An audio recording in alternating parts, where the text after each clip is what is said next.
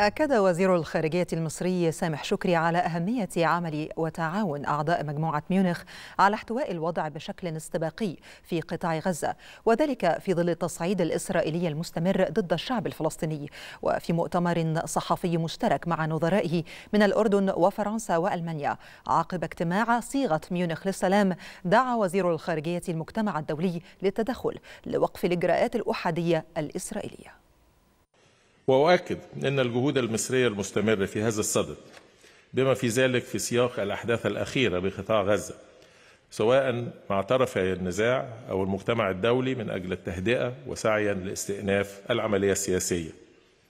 هذا ورغم ما نبذله من جهود مضنية إلا أن تلك الجهود ما زالت لم تؤتي ثمارها ونتائجها المرجوة.